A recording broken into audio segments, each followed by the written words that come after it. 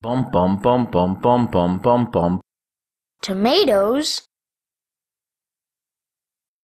Hello, welcome to the video for what is Actor Scale 3D. Let's run through a quick little example here. I have this blueprint and it composes of a few different basic primitive objects and I am accessing the actor itself, which will be the root, and I'm going to adjust the scale and it's going to adjust everything appropriately. So let's take a look at the note.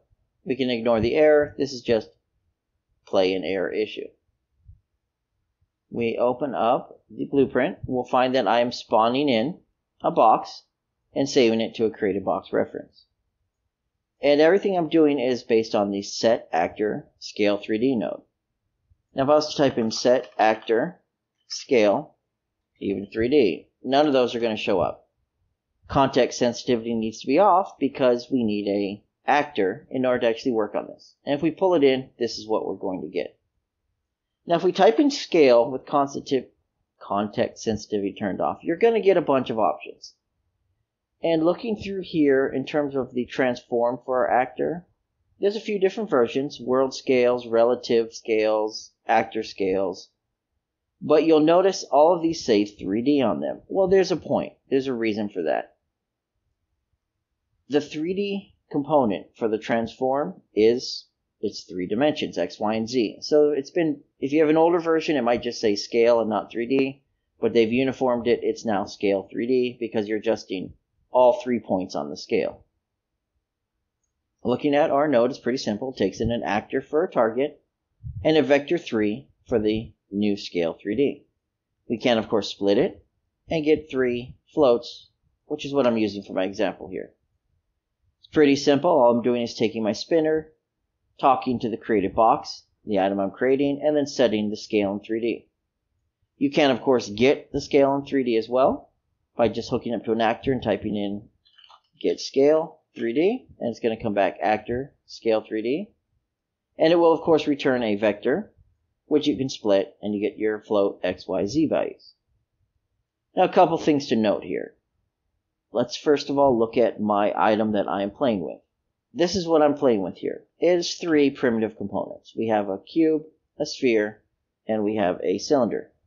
Now I have a generic scene component as my root. It's basically just something that holds a transform. And then I have these three items as children. When I run this example, I am getting the actor and adjusting its scale. So I'm getting the root here. Now because these are children, anything that changes on the root is going to propagate down to the children. But it's not going to change the child's scale. So let me show you that. Let me pull up the item I created here. Let me pull this down, and we can see we have my scene and a couple different items.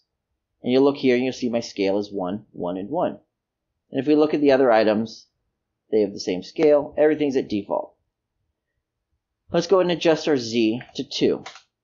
If we look over here, we'll see the scale has adjusted on the Z to 2.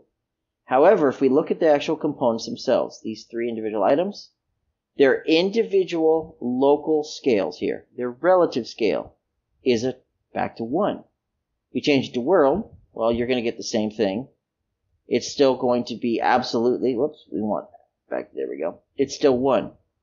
Sphere 1 and cylinder 1.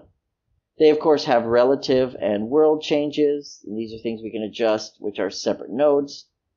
But what matters for our example here is, let me change this back. And change it relative. The individual item scales are not adjusted. The children of this actor are not adjusted just because you change the scale of the actor itself. They're all relative. So the actor has a scale of 1, which is multiplied against the scale of the root, which is a 2, and that's why we get this result here.